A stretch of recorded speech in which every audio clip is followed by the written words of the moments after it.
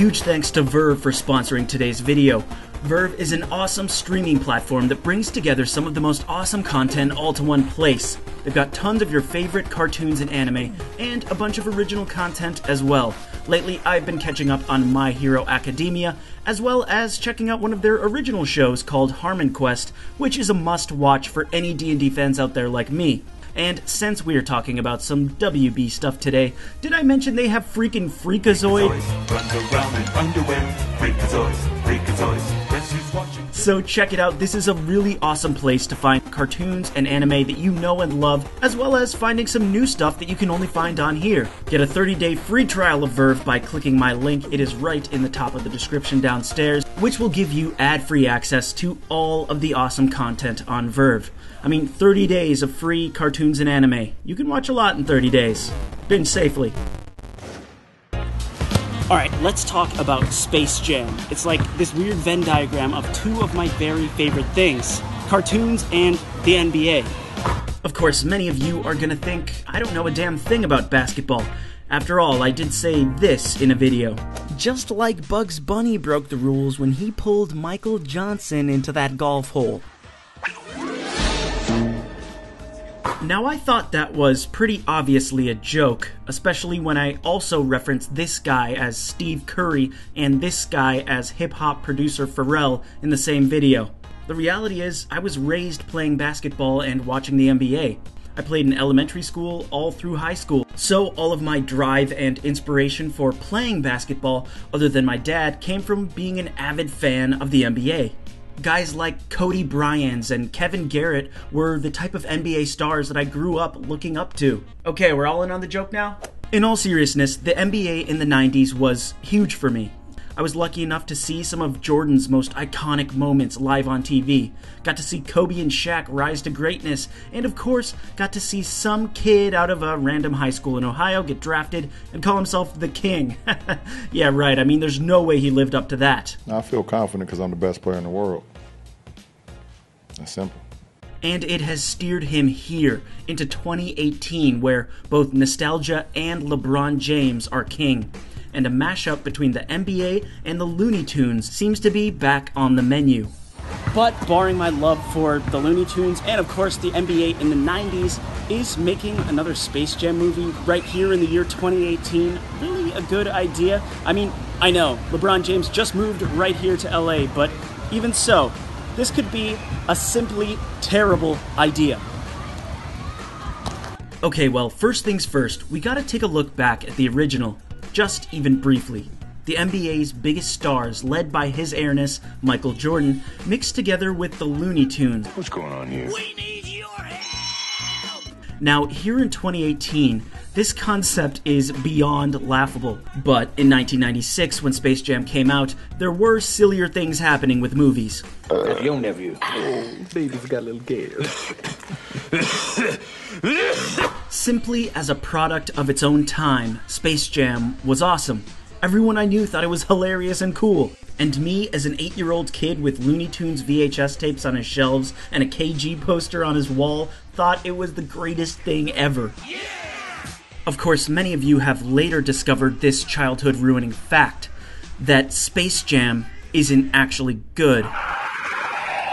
Now, many people will argue that the 90s is the best decade of NBA basketball, and it's undoubtedly awesome. And then you have the Looney Tunes, which are a bona fide classic. Seriously, I don't care how old you are, go back and watch some of the classic Looney Tunes shorts. They're still just so witty and clever and beautifully animated. They couldn't hold up any better. I demand that you shoot me now! But then you pop these two classics into one movie and things get a little dicey. Time to play a little basketball. Now, don't get me wrong, there are things that are great about Space Jam. Seeing these NBA icons in this comedy setting is fun, and the way they translated the traits from the players to the Monstars was actually really clever and something I didn't even put together as a kid. Like the tall, lanky guy is Shawn Bradley, the thick, angry guy is Barkley, and so on. Cool concept. Not Charles Barkley. Sing it It's a wannabe who looks like him. And of course, we can't forget the 2D and live action interaction. That is still something to be applauded, though we had seen a better version almost a decade earlier in Who Framed Roger Rabbit. And yes, of course, the theme song, which is simply beyond reproach. But all that's in the past now, and as the NBA grows even more popular, it seems the time for one of the most beloved basketball movies ever made, that is not hyperbole by the way, to get its due sequel. And in order for a Space Jam movie to work at all, you need a star. A star as big and well known and popular as Michael Jordan. So, with his career just ever so slightly past his prime, that's debatable, of course. LeBron James seems to have perfectly positioned himself as the obvious choice for this job. Now, with regards to skill and legacy and GOAT conversations, well, I'm going to stay out of that territory for the sake of my own comments section. But the fact that that conversation is happening a lot lately, and even at all, is enough reason for him to don the mantle of the jam. Now, for a while, there was talk of Blake Griffin helming the film, because not only did he seem to be becoming the league's next high flying superstar, but he was also showing much stronger acting and comedy chops in comparison to his peers. But his career took a bit of a different turn, and if the Looney Tunes needed help in some basketball related task, Blake, I'm afraid, wouldn't be the guy who they would ask. Sorry, Blake. Now, a guy the Tunes might actually turn to is Kevin Durant, who is also rumored to helm in this film. He certainly has the skill to help the Toon Squad, but his acting. Uh, well, have you seen Thunderstruck? Oh, you haven't. Well, it's a complete dumpster fire, in large part to KD's stiff acting and just general lack of charisma. Probably not Space Jam material. And I know, I know, Michael Jordan was no actor either, but his pure iconic status was enough to help him carry the movie. And as for KD, well, he doesn't exactly have that type of iconic status. Sorry, KD. He's an idiot. Don't listen to this. He's an idiot. All right, that's what we got to say about that. Anyway, if we're all really honest with ourselves, even if you loathe LeBron James, you have to admit he is the only one who can star in this film, which is good because he ended up signing a deal with WB. So at this point, we're just basically waiting for the film to happen. I mean, he was pretty good in Trainwreck, so I think he can do at least as good of a job as Jordan in the movie. And it being the off season in the NBA right now, combined with LeBron James moving out here to Hollywood, it's more likely now than ever that the film is in production and planning, even as you watch this very video. So, if you will indulge me, I have just a few ideas of how to make Space Jam 2, well, not suck. So let's start small. Now, I know most of these casting type choices have already been made, but I would say to consider making it more of an ensemble piece. I mean, yeah, everyone's expecting to see a poster with LeBron James's face and Bugs Bunny's, but unlike the last Space Jam basketball stars, the very best players in the league currently barring KD, have some really interesting personality quirks, from Steph to Giannis to AD to Kyrie. I think having Space Jam be about a core five instead of just LeBron would be a smart play. But knowing LeBron is already signed on, knowing Kyrie is already doing Uncle Drew, and just the general sort of rivalry with the Warriors and LeBron, I think the movie is pretty much LeBron only at this point, with a few cameos of players he approves of. So I'd expect to see CP3, D Wade, and maybe even Lonzo Ball if they can keep his dad out of the movie. Please don't put LeVar in Space Jam. Popular internet humor. Now, due to the current state of internet culture and the memedom at large, jokes and slang tend to grow faster and bigger, but also die out quicker. So, when you put a joke that's popular right now into your script, well, by the time the movie's made, the joke is totally irrelevant and cringeworthy. It's how we ended up with a What are those? joke in Black Panther. So, take my word for it, Space Jam 2.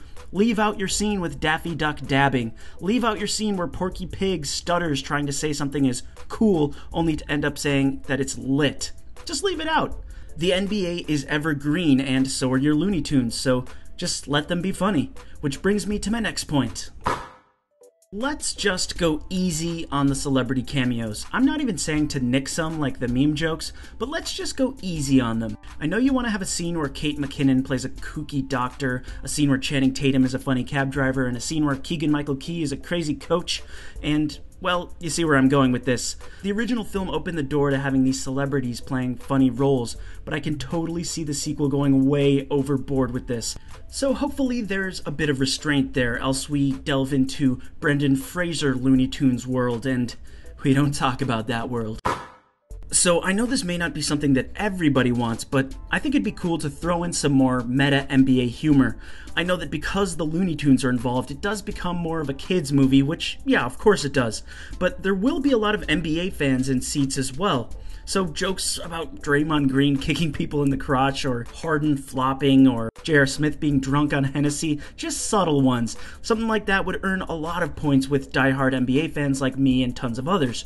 So while I can't understand steering clear of this because it might alienate other viewers, a couple of little nods would be cool. Trust and love your Looney Tunes. A huge pitfall, I think, for this film is going to be the desire to update the Looney Tunes to make them feel more now. And while I do understand it, I don't think the Looney Tunes really need it. I think a great example of how to pull this off would be to look at the new Muppets movie with Jason Segel. Segel was a guy who grew up with the Muppets, and his love for the property was easily felt in the movie, as all the characters really felt. I realize I'm saying felt a lot, and that's not a pun. Let me continue on. All of the characters really felt like they had just been unfrozen from the heyday of the Muppets and into this new adventure. Though I didn't enjoy the sequel as much, and they also suffered from that celebrity cameo thing, I think the first film really shows that characters even decades old can still be funny and have heart with almost no updates or modernizing. I mean, the characters are famous for a reason, so let them be them and let the world around them be what's different, which is a perfect segue. My next and possibly most crucial warning for Space Jam 2 is don't make the Looney Tunes 3D. For the love of Mel Blanc, please don't do this. This is without question the biggest no no. My guess is they're probably looking right now at stuff like Planet of the Apes or Paddington Bear or the new Jungle Book movies and seeing that those aren't only starting to look quite amazing and photoreal, but also there's not really any backlash for those films and they're performing really well. Of course, when I say 3D, I do mean like CG characters with dimension instead of 2D cels. But if they do go 3D, air quotes, with the Looney Tunes, I fear there will be grave reviews in the future of this movie. Now, I'm not against this totally. I think the new Christopher Robin movie, for example, looks pretty cool. I think the whimsical, stuffed look of the animals works great. But for Bugs and Company, I just don't see this treatment working out in any way. Whether they go for a more realistic vibe like the Christopher Robin stuff, which totally strips the cartoonishness from them, or they go for a more say, illumination kind of look that interacts with real people, which will start to flirt with Smurfs territory. Neither of these would be good. Let's face it, right now in 2018, it's easy to put CG characters into live action. But you know what's hard? Putting 2D characters in with live action and having it actually work. So I challenge you, WB, go back and watch Who Framed Roger Rabbit. There's so many interesting dynamics in play when the characters are 2D, so I certainly hope they honor the roots with that one. My next idea might be a little bit too impossible to achieve, but wouldn't it be interesting to sort of draw in the rules of the basketball a little bit? I mean, I still want to see the Looney Tunes doing crazy stuff playing basketball, but what if there were a little bit more limitations placed on them so there was some stakes, like a good classic sports movie where you're like, holy crap, are they going to win? Instead, you have Elmer Fudd pulling out a gun in the middle of the game and well, you know how ridiculous that game actually gets, but maybe if the basketball was a little bit more grounded, just a little bit, there'd be just more riding on the game and we'd care more. But that might just not work with the Looney Tunes, but serious props if you pull it off. And last but not least, the most important thing that absolutely must be avoided at all costs in order to make Space Jam 2 not suck do not make a Fall Out Boy cover of the Space Jam theme. Seriously, I see you thinking about a slick, cool new remix of the famous Quad City DJ song, but literally no one wants that. Even Fall Out Boy fans don't want that. So just save yourself the backlash on that one and just use the original song and maybe come up with some other cool new song. After all, Space Jam is best known for its soundtrack, so just get a hold of any of the dozens of artists that would love to be on the Space Jam 2 soundtrack because they grew up with Space Jam 1. This could not be an easier slam dunk for you. Just don't touch the Space Jam song. Y'all ready for this? So there we go. Just a few humble ideas from me about how to help out the new Space Jam movie. I'm sure they uh, really need my help. But honestly, as much as the Looney Tunes and the NBA are important to me in my entire childhood, I really won't even be upset if the movie isn't good because, well, I don't expect it to be. Making a movie with the Space Jam concept that's not incredibly dumb will be seriously hard. Outside of the nostalgia goggles, there's not really even much there to live up to. So, is making Space Jam 2 a mistake? I guess we'll see. I mean, sure, Space Jam is famous, but not really the movie. Like, literally just the Monstars, the Toon Squad jersey, and the soundtrack. Other than that, most people can't tell you much even about the film. So, as far as I'm concerned, you're playing with house money, Space Jam 2. But on the other side of the coin, this is 2018, and if the movie sucks, it will be publicly torn to shreds by thousands upon thousands of cartoon and NBA fans all across the internet. So, good luck. Welcome to the to the slam. If you want to jam.